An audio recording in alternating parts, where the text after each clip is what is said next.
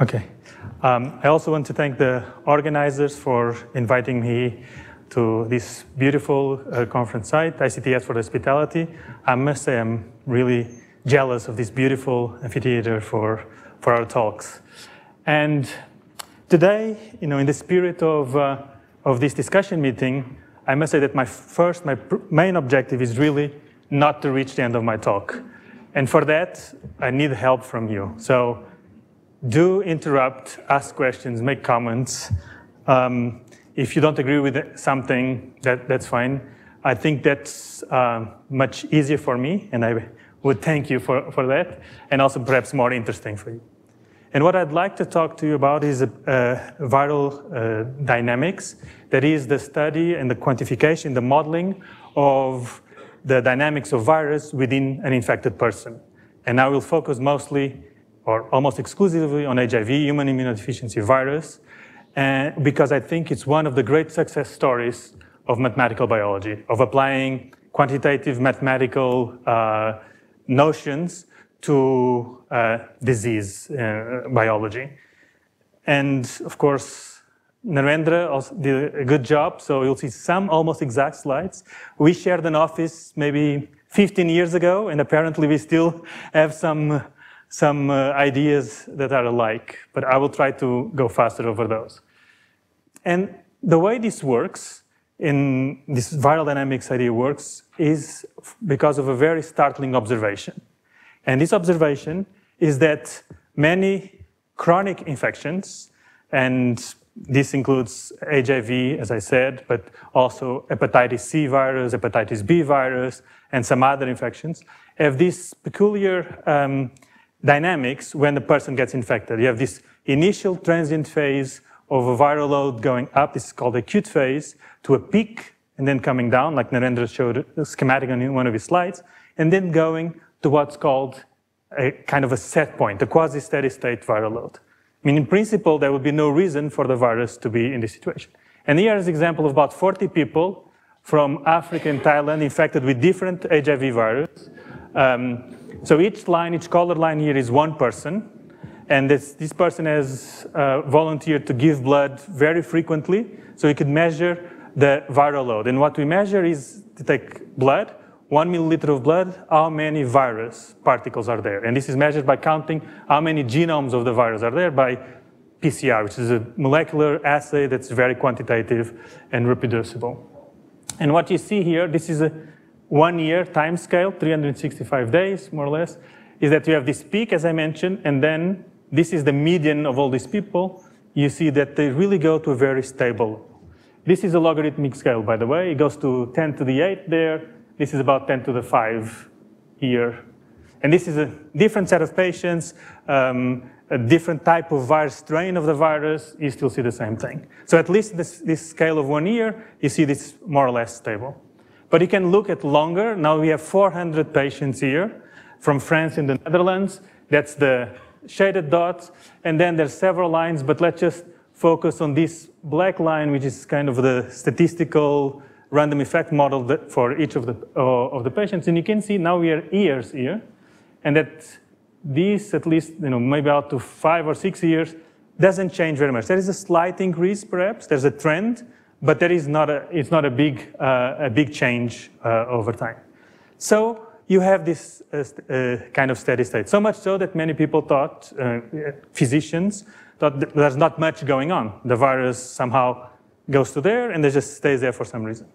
But of course, if you're quantitative, if you're a more dynamical background, let's say, this immediately um, brings to mind one very, very, very simple model, which is, well, we have the virus, it's being produced, it's being cleared, there's many biological processes involved, but this could be in steady state even though there's production and there's clearance.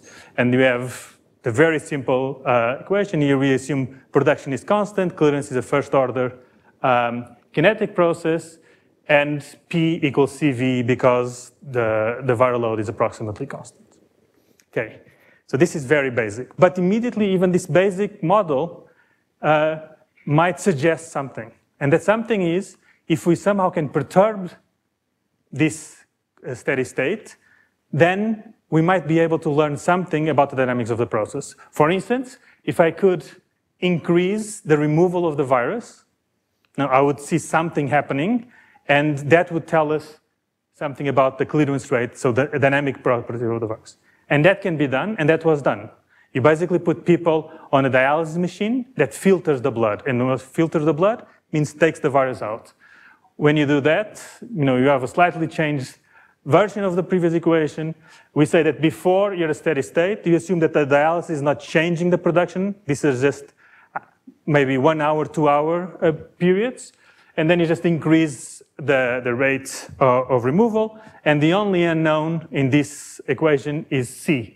Epsilon is the rate of removal you're measuring it. P0 comes from CV0. V0 is the steady state before you do the dialysis. And so you, you can calculate C. And this is just two patients. It was not done in many patients, but this HIV, there's a lot of noise here because this is a scale of minutes now.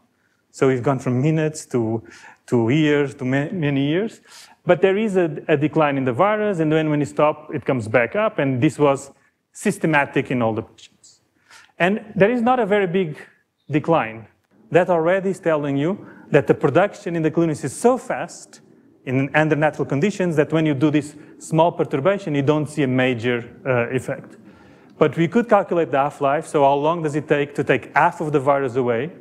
And so C is about 23 per day, which corresponds to about, you know, let's say one hour, 60 minutes half-life or less than that. So that means that every 60 minutes, half of the virus that you have in your body is being removed and replenished because of the steady state for years on end.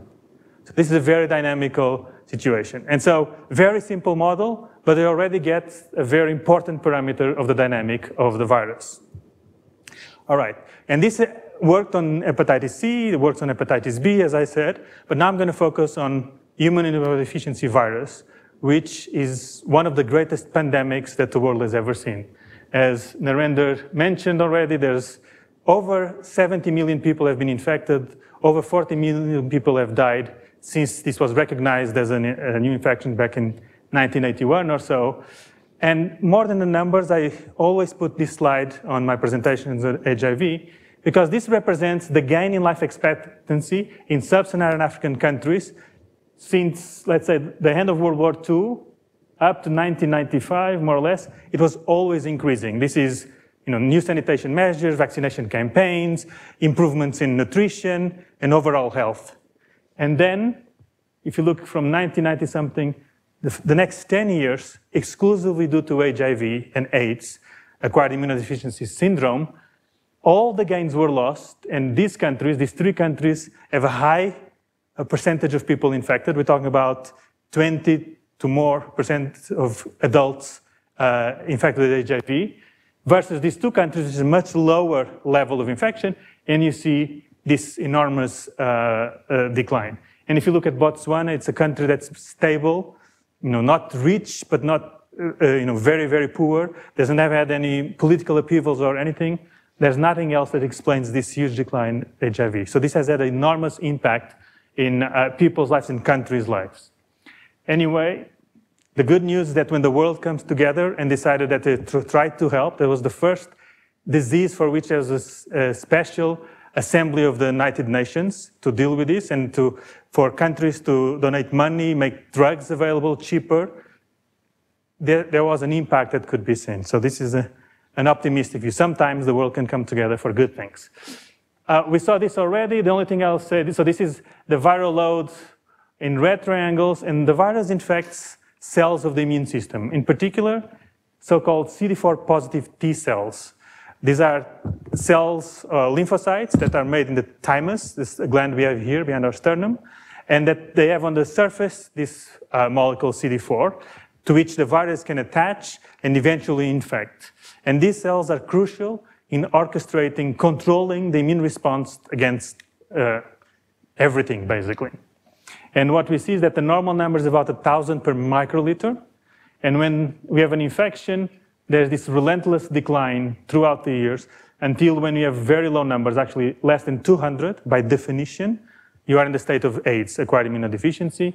The immune system as a whole cannot control uh, many types of infections or challenges that you are faced to, with every day, and, and then eventually a person dies, for instance, with TB, like was mentioned yesterday, even though that could be controlled perhaps without HIV.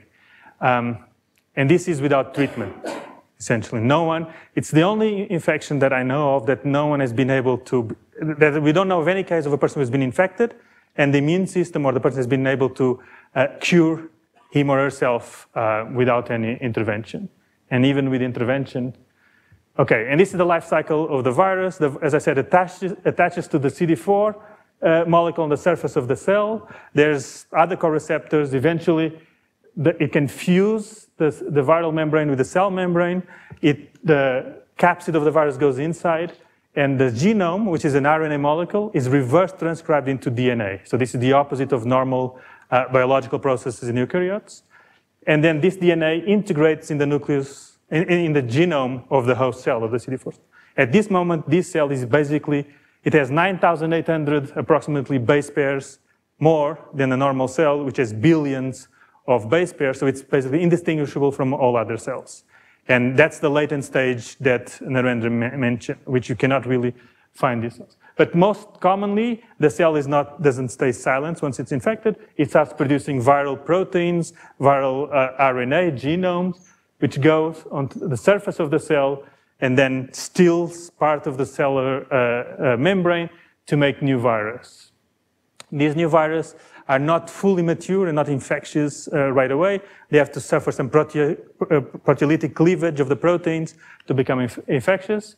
And the reason I say this is because HIV is the virus for which probably we have most treatments. There's been a, a huge investment, and we know the most in, uh, of any disease probably in terms of all these intricate details. And there are drugs, specific drugs, that affect this binding here, the fusion, the reverse transcription, the integration in the cell nucleus, the maturation of the virus. So there's different classes of drugs that target uh, the viral life cycle, and these are the, what makes um, treatment so powerful and so effective. So in what happens when a person is treated? This is an example of a person. This is now days, about four months. This is 10 to the 6 virus. In, once you start a powerful treatment, in just 10 to days to two weeks, the virus comes down very quickly, about two logs or more, and then it slows down, but it continues to go down until it goes below detection.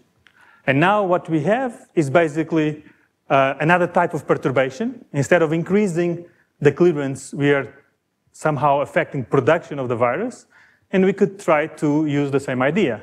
We have the same model, but because we are dealing with a specific virus, HIV, and we know the treatments, we can be a little bit more uh, descriptive, and we can use a, a, second level of toy model. Now we have the target cells, the CD4 positive cells. We have the virus. Once they get infected, they become infected cells. These infected cells produce virus, completes the cycle, and we have these ongoing cycles that are uh, going on all the time. And we have some parameters like the removal, the death rate of infected cells, the removal of the virus. Uh, target cells could also be uh, regenerated and, and left. And we're interested in analyzing this. And when we have treatment, the two initial types of treatment that were uh, available were reverse transcription inhibitors. So they prevented this, uh, this step where the RNA becomes DNA. And that would mean that the cell cannot get infected. And there was a protease inhibitor, which prevented the maturation of the virus once it comes out. So the virus comes out, but it's non-infectious. So virus is now non-infectious. So now what we do, we have this cartoon, we write the corresponding equations, and I'm just dealing with very simple models, just ordinary differential equations, but there's been many, many developments where people do much more complicated things or stochastic models and so forth. But I'm not going to go through this because you all understand it. It's just capturing the cartoon into equations. And now I have treatment, I can put the treatment on. And basically what I say is that treatment, for instance, the reverse transcriptase inhibitor, reduces the infection rate and by the way, this is very, very akin to these SI um, models that we've been talking a lot about. Um, it's at a different scale and there's slight differences, but it's the same idea. The only thing that I think it's important to notice here is that we have to deal with the biology and how things work. And so the protease inhibitor prevents infectious virus from being produced. So if it's completely efficient, this epsilon would be one, and you have no production of infectious virus. If it's only you know, 90% efficient or, 95% efficient is 0.9 or 0.95. The rest is as non-infectious virus. And why is this important? Because when we measure the virus, as I say, we measure the number of genomes. We don't know if they're infectious or not infectious. So this is the observable, is the sum of these two things. But what's contributing to the dynamics is only the infectious. So you need to separate it, but you need to keep track of everything. So that's something which is specific for this treatment in this. And, they have solutions, and the way we do it is to simplify it even more. You know, this was just slight, there's a nonlinearity here, which makes it actually impossible to solve it analytically. But so we sort that out by just making it linear. And we do that by saying that the target cells, in the time scale of about a month, which we're going to analyze, do not change uh, very much because the production of normal cells and so forth takes longer. And so we linearize that, now it's solvable. We assume steady state before the start of therapy, which is probably an okay assumption since I showed you that the virus is at that steady state we solve. And, the, uh, and now we C we know from the other experiment, V0 we know because we can, you know, it's, it's a steady state. Um, so we have epsilon and delta as our, our main uh, unknowns. And we can fit this data to patient. Here again, it's 10 days only. And the every uh, dot there is one bleed, and each graph is one patient. And what you can see is that there is this nice decay, which is described by the curve, um, with fitted parameters uh, as the line indicates here. So we can take delta, which basically is approximately the, the slope of this initial decay. So now we know delta. Yes? The same Delta for all the patients. is it the same delta for all the patients? Actually, it's very, very similar. Right? So if you do this, the, the variability, and that, that's another amazing thing in some sense, but that I think that drug treatment is such a strong uh, perturbation uh, that you're measuring the death rate of, of these cells, and they're very, very similar in all, all the patients. This is about delta equals to one, which is a half-life of about 15 hours. So every 15 hours, half of the infected cells are removed and replenished through years and years that the person uh, is infected. So again, very fast. And in fact, it's so fast that now we can start to build a picture of what this means uh, physiologically. And we know that the viral load is about this, 10 to the 5, 10 to the 6. It varies by four orders of magnitude at this steady state, as Narendra said, for different individuals. Uh, we know that this C, which is the rate of removal, is 23. That was a concentration that's about the, the bodily fluid of um, you know, extracellular body fluid of a idealized person. So the daily production is staggering amount of 10 to the 10 to 10 to the 11 virus, virion particles every day for years and years that have to be cope, that have to be removed from the system by all the mechanisms that the immune system and the body has. In terms of infected cells, it has also been measured um, to be about 30 million per day uh, that, that are infected. This is the delta, so we have about 30 million cells dying in removal. This is a large number, but we have to uh, realize that we have about 10 to the 11 CD4 cells in the body. But every day during this time, somehow this daily destruction cannot be uh, met by equal production, and that's why you have that slow but constant decline of CD4 cells that was like that in the figure, uh, which eventually leads to AIDS. Okay, what is the implication of this massive replication?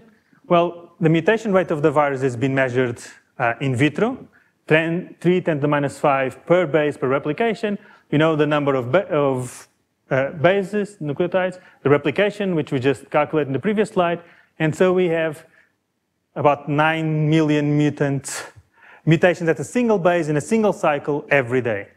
Since you can only have you know, 9,800 different single point mutants, you're making every single mutant every day 10 to the four times or something. No, you're making the same one. And then, of course, you can also make double mutants, and from a single mutant, you can be in the population if it is rep can replicate, and we talked already about fitness and all those things yesterday. And then you can make double mutants, triple mutants. This makes a huge diversity, which Narendra mentioned, and we have the same figure here. This is the diversity. Um, you know, this is influenza one year global uh, diversity.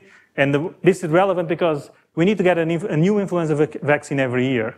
And this is the diversity we're trying to deal with.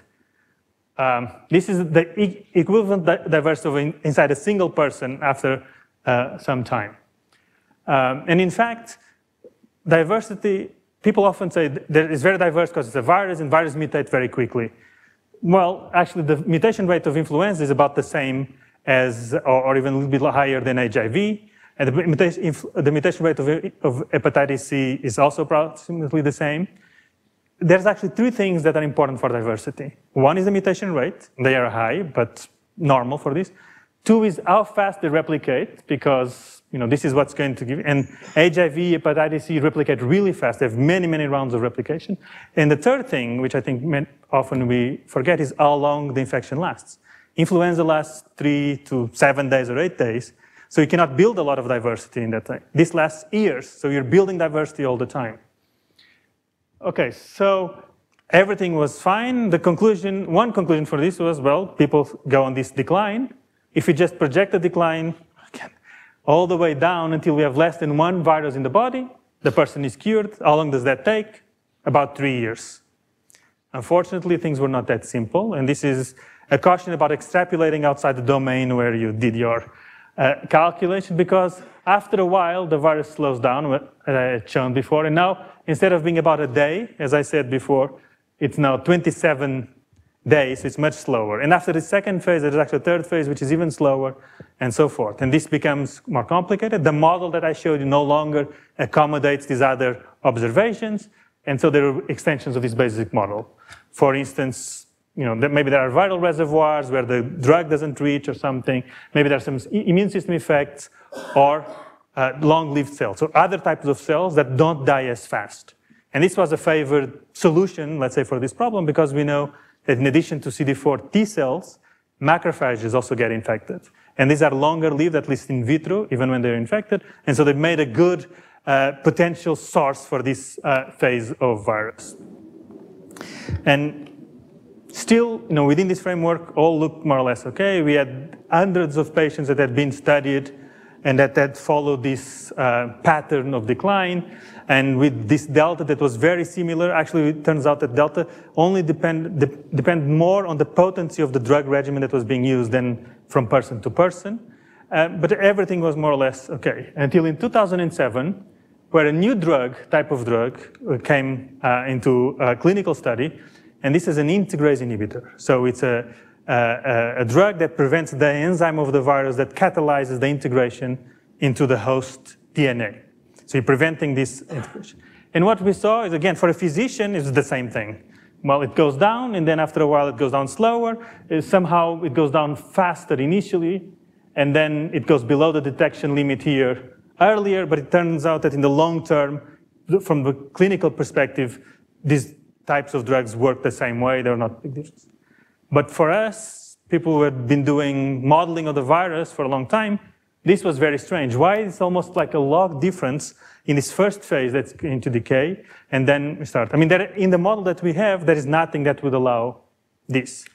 So there were many uh, discussions of this problem in the literature with different types of solution, all based on this original data uh, that I uh, showed there, which was an analysis of the, uh, the pharmaceutical company's clinical trial where they had given this integrase inhibitor for a week singly as a monotherapy, and then they had switched everybody to uh, a combination treatment because it's not ethical to give, in my perspective, not even for a week, but FDA required it, uh, to give one drug to only to an individual for any extended period of time because what you're going to do is create resistance to that drug. And that in HIV has memory because it has disintegration, so this resistance will be there. And possibly you eliminate this drug class from the person's uh, arsenal to, to fight in, in, the future. Anyway, so this is not very clean data because you have only eight days and then you switch to a different regimen and you're inferring this you know, two-month decline on this mixture. So we, we tried to look at this also and we just complicated our model that little bit that was necessary to come to, because we had new data and new drug. And what was that little bit is that now we have here reverse transcription, This cell is infected in the sense that there's a virus there that has become DNA, the RNA has become DNA. And then we have this integration step when the cell actually is really infected and capable of producing virus. So we add this extra stage here. Um, you know, this would be like susceptible, exposed, infectious, for instance. Um, and we have two extra parameters. These cells might die at some rate, and K is the integration rate. And so we want to know, does this work? And uh, when you have integrase inhibitor, we are blocking that step now. And yes, it works. We use the same uh, data from the clinical um, uh, trials, which is just eight days, but we only look at eight days. And we see that the model, this is slightly biphasic. We cannot really in all of these, but if you do a statistical test of a model without this I1 uh, class of cells, which gives us the biphasic decline, because now we have delta here and you have delta 1 there, so this gives you the biphasic decline. If you, if you compare the two models statistically, uh, this model was, uh, was better. But this was not enough, and it was not very easy to pinpoint uh, all the parameters. In particular, K, which is the integration rate, and delta 1, which is the loss rate of I1, they are the trade-off in some sense because they both are contributing to the disappearance of I1 cells. And, and so we had to somehow try to disentangle this. And from in vitro data, it, this data at least showed that the time from reverse transcription to integration, so the time that it, it takes for A1 to disappear, is about nine hours. This is in vitro data. And another very elegant and smart study, I think, from John Murray, uh, they looked at people treated with different classes of drugs and how the decay was, and then they compared this the, the time it took until this decay started, and they came out to the conclusion you know, that these are the differences between integration, reverse transcription with different types of drug, fusion, export. As I said, there is drugs for all these processes. And this red line here is about 10 hours between integration and reverse transcription. There's a, integration is very well defined. Look, there's just that little line there. Whereas um, reverse transcription, there's a, a wide uh, range there. But still, this was about 9, 10 hours. So what we did is we fitted the data, fixing this integration rate k at different values. And what you can see is that if you do it at different values, delta 1, as I said, trades off, so lower k, slightly larger delta 1, but delta 2 doesn't change at all, again, uh, and, and also the, the, the, effectiveness of the drug, of, of the integrase inhibitor, didn't change. You can say these are very, very potent drugs. This is so the effect of the drug is 1 minus omega. That's how much it's reducing K. And omega is 0.995, 0.997. So this is very potent. And this is true for all drugs. As a, a virologist, a well-known virologist said, I mean, you only have a drug on, on the market if this is true. So that's, it's not surprising that you have very potent drugs, because all the ones that are not potent never got to, to, to the market. They were abandoned before. Okay, but this is a very, as I said, small data set for just uh, monotherapy eight days. We really wanted to compare head-to-head, some, let's say, a regimen that has an integrase inhibitor with one that do not have. Um, so we got three different data sets, either a combination treatment, very strong treatment without uh, this integrase inhibitor, and look, these people are measured every six hours for 72 hours and every day for 10 days and then weekly for 28 days. So it, there's a lot of data and, this, and, and, the people, the volunteers are bled very frequently to measure the, the, the, concentration of the virus. Then we had that original data and then a, a new data set of combination of this integrase inhibitor with some reverse transcriptase inhibitors. We cannot have just integrase inhibitor therapy because that's a monotherapy type uh, treatment and that's no longer it. So anyway, we have 47 HIV infected people, 613 viral loads, and we use the mixed effects model approach that was also briefly mentioned uh, yesterday to fit the data. The first thing we checked is to see, is there a difference be between this, this difference that was seen between a decay with integrase inhibitor and without integrase inhibitor? And yes, there is. In blue are the patients treated without an integrase inhibitor, and in pink are the patients treated with an integrase inhibitor. And even though there is some noise here, you can see that this goes on for longer. This is the median uh, in black. And the start of the second phase, so we have this first phase and then the slower second phase, there is this difference delta, which is almost one log, which is basically says with a completely different data set, completely different, the same thing that they had uh, mentioned in this 2007 paper. Okay, good. So we can fit our data. This is the same model I showed you before, but this only accounts for the first phase, as I said. This, once we start the second phase, we need another source, these other long liver cells. And what we do is we have this model, we just replicate it exactly, but we say that these other, these other cells here, maybe they're macrophages, we don't know. They are, they produce virus, they are slower. And because they are slower, they give rise to this second phase. And again, integrase inhibitor can uh, inhibit this step here and this step here, and reverse transcriptase inhibitors can inhibit this step and step because the biology of the virus is the same. It's just that um, these cells are, are longer lived. Okay, so we did that. We can write equations for this model. Again, it's quite simple. There's just that same nonlinearity of the virus in the target cells, which we linearize by assuming the target cells are approximately constant. In addition, we can do some tricks by, uh, without lo loss of generality, uh, rescaling some variables. We can show that, in fact, p times i comes always together, and so it cannot really be distinguished, so we replace that by a new i. Um, and then we do also another thing, which is a quasi-steady state. C is 23, so viral removal is very fast. So virus basically is tracking whatever the infected cells do. If infected cells produce more, you get more virus. If infected cells produce less, we have less virus. But uh, it's in a, such a, uh, a, much faster time scale, the viral dynamics.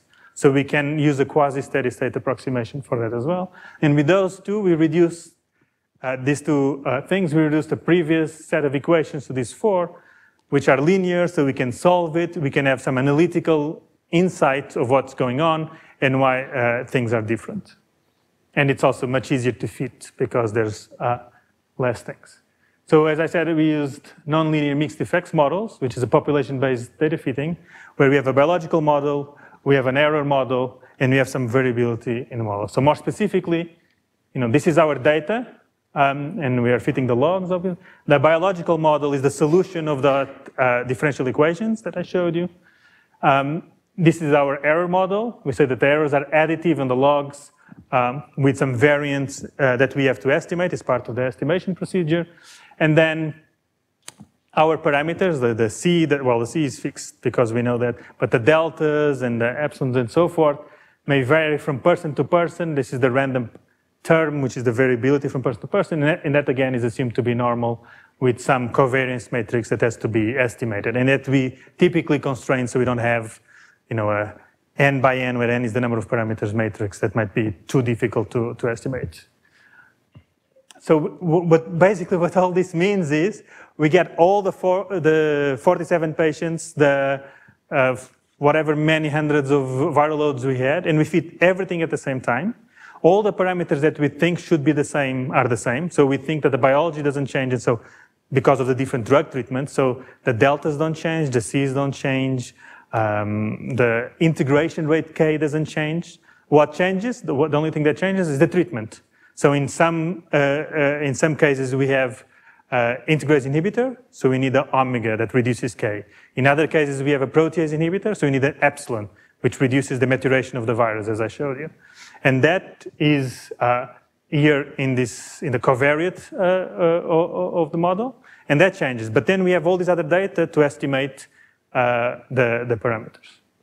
And so we can fit the, the, the, the, data and it works in some sense. This, I had 47 patients here, just a, a seven shown from the people treated without an integrase inhibitor and people treated with an integrase inhibitor.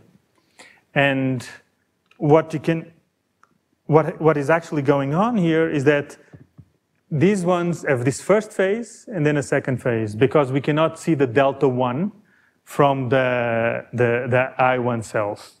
Okay? Everyone still knows what I1 cells are or they're lost. So these cells that have reverse transcribed but not integrated yet. Because I'm not blocking this step, I don't have an integrase inhibitor, this is occurring seamlessly and I cannot really, uh, it's not being perturbed, so I cannot see it in my experience. Here actually, I have a fast phase, then a slightly slower phase, and only then I get to the second phase. And these are the different uh, decays of the different cells. Um, these are more fits, just to show you that you know, this works across all the patients, basically. And then this is what's called the, the, the overall result. So if I look at the best parameters for each case, this is what I see. And it's basically what I said before. I have, I always wanted to use this. Okay, because this shakes too much. Okay, anyway, so the blue one is the, is the, the treatment without an integrase inhibitor. And it has a first phase, and then after year was six days or so, goes into the second phase decline. And this is the very well-known uh, decay that we had seen before, and has been very well documented. Uh, in, when we have combination of these reverse transcriptase inhibitors with an integrase inhibitor, this first phase continues for longer. It slows down slightly, and this is phase 1b. And phase 2 only starts much later, here about. And then because it starts later, it starts at a lower level. It's not that it's faster initially, it's actually the same, because it's the same parameter, is the death rate of infected cells. Uh, but it starts later, and so we have this difference. And we could calculate exactly what is this difference and, and that this would, uh, if you look here, there's an exponential there, so it actually it's narrowing down. And if it continued like this and we could see it, it would, they would come together. And we even know what is the difference here is actually the potency of the integrase inhibitor. And you could ask, but how do you know it's phase two uh, or not? Because we know that phase two is the decline of cells, of these long-lived cells, the M cells in my diagram. So I can very easily in my model see when is the decline, when are the M cells dominating because all the I cells have gone away. And when you do that, you can, that's the start of phase two. And if you project this back, this is how many of these M cells we have at the start of phase two. Okay, so this is what the, the model gave us, graphics. But the real surprise came when we looked at the statistics of, of, of, the model. So this is our initial model. We had to try to estimate um, these parameters. And, um, and as I said, some of these trade-offs, so we had to do a lot of different simulations to make sure that uh, we were not falling into some kind of local attractor for the fitting. But no matter what we did, no matter what was the variability from the different uh, uh, uh fits, one thing always came, uh, it was always true. This delta M2 was equal to that delta 2.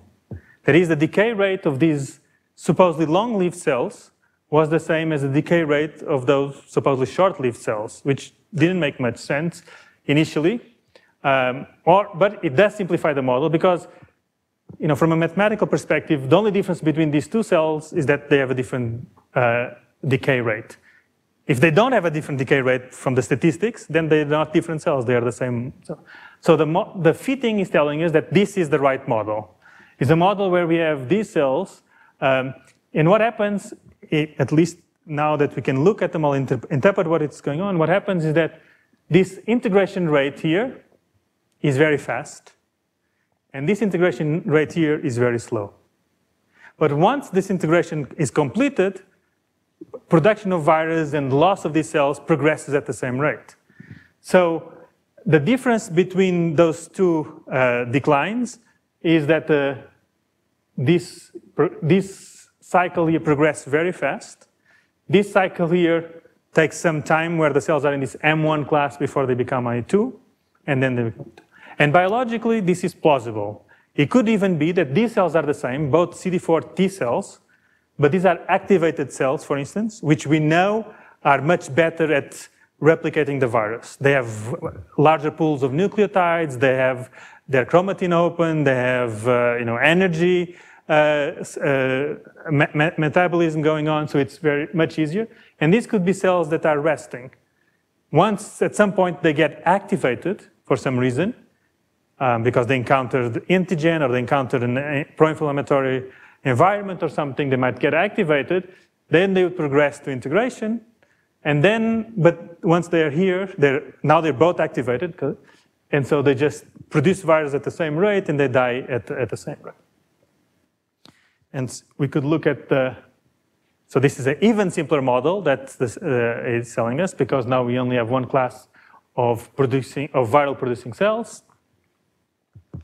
Uh, these are the estimated parameters, and essentially, we have this slow, rapid infection model, and if you don't have an integrase inhibitor, we are in the situation that we had before. We have delta 2, which is estimated at the same level as before, and we can measure the second phase, which is the decline plus the integration of these fast, uh, oh, sorry, of these slow cells as this. In the case when you have integrase inhibitor, we can actually um, basically um, uh, unfold or uh, untangle this, this initial phase. We still have the same delta 2. That's very fast initial first phase. Then we have the integration in the fast cells, this thing here, which we are blocking so we can see this delta 1. And then we have the same as here, except that we are blocking this slow integration rate. So we have one framework, one model that explains disparate data sets that could not be done before. So implications, HIV sustained by short-lived infected cells because they have fast integration and short production time, and long-lived infected cells because they have slow integration, even though they still have fast production once integration occurs. Now, these long-lived cells are only about 4% of productive infections. Most cells go through the top cycle infection. Most infections occur that way, and fewer through this slow cell. It makes sense because if these are resting cells or non-activated cells, it's much harder to infect them. But because they live longer, they actually represent about 40% of the total infected cells. That's what the model is saying. The one big problem, quote unquote, is that we estimated short-lived cells integration is about seven hours, which is kind of in the same ballpark of that nine to 10 hours that we had seen before. In the long-lived cells, it's six weeks. Talk to many virologists, and they say, you know, this is impossible because the biology, the pre-integration complex cannot stay there. But unfortunately, or fortunately, if you read the literature, there's many, many, many, many papers that show that integration can take a very long time, that there's many reservoirs pre-integration where the viral genome, for instance, can circularize, circularize, circularize and be very stable, and then eventually unwind again and integrate. So I think this is possible. We don't know. You know, we still need some experiment, more experimental things of this. And what I like is, as a modeler is that we provide one model that parsimoniously explains data sets that are disparate and that we couldn't really understand with the model that we had uh, previously. So I'll just thank everyone that was involved, all the people that gave us the data, including the company that, that um, did the, the, initial clinical trials, the people I work with at, at, Los Alamos, and the funders, both in the US and now in, in Portugal. And if we have just one second, I'll try to see I can get this to run. So what we have here is those three populations of cells, the, the, fast, the, the cells before integration, but they're going to integrate, integrate fast, the cells before integration that are going to integrate slow, and the infect, productively infected cells that produce virus when you're treated with an integrase inhibitor or not. And